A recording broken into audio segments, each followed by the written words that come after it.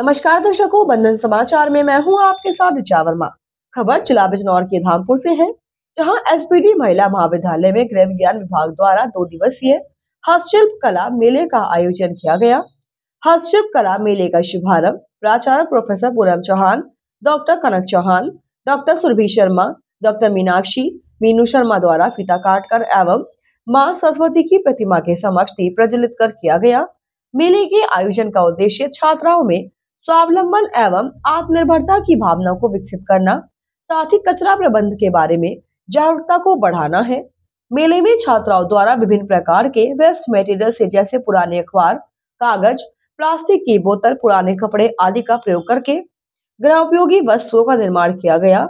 वस्तुओं का प्रयोग करके छात्राओं ने विभिन्न प्रकार के फूलदान, पुष्पगुच्छ, तोरण, पेंटिंग आदि बनाए।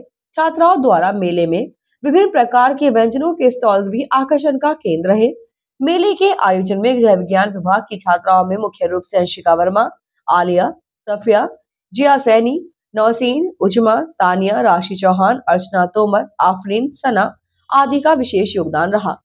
और इसी के साथ जुड़ रहे बंधन समाचार के साथ।